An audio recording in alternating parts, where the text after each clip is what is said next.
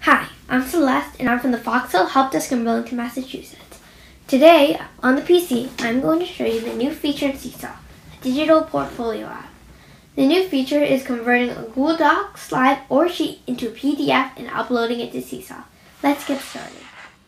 So, to integrate a file, you're first going to have to open up Google Chrome like I have. Then, search up Seesaw.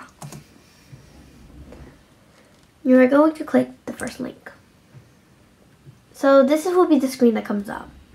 You can either sign up for free if you already haven't, or you can sign in. If you haven't already signed in on this device, it may ask you to sign in again. Um, well, not again, but sign in.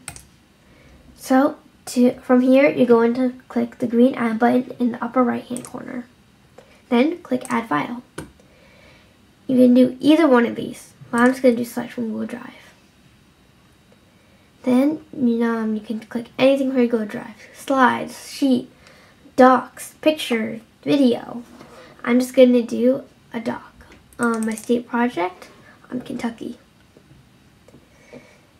Then you're going to wait for this? Okay. So you can either explain or read with the audio um, on the first page. Or you can add a caption. I'm going to show you the audio first. So the audio um, you can read your page right and then you can allow your teacher to not only see your writing skills but also to see your reading fluency. So I'm just going to read the first paragraph of mine. Click to be recording. The first Kentuckians were Indians from Asia. They hunted elephants and other animals. Many people predicted these hunters probably came to Kentucky by crossing the land bridge that once connected Asia and North America. Then you can play it. They hunted elephants and other animals.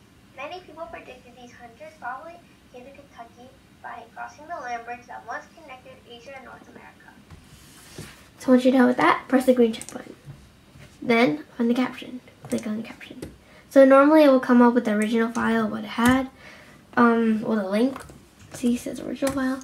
But you can literally write anything you want. I'm literally, I'm just gonna write example. As an example. And then you will see it down here. You can change it again. Um, I'm gonna be like state project. Um, no, that's not right. Now is it on Kentucky? Check. Then when you're all done with everything, click check again. So when you have students, you're just going to select students which you want to upload, but I don't have any, obviously. So upload, success item uploaded. So I uploaded this to myself. So this is what you'll see.